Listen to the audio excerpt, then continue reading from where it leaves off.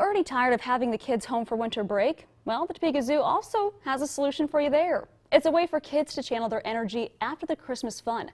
Registration is per day, not per week like other camps.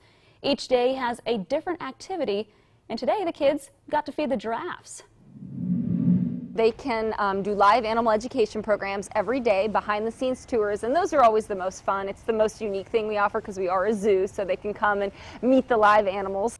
And there is still room available. You can find that information on how to sign your kids up on our website. Just go to ksnt.com and click on this story.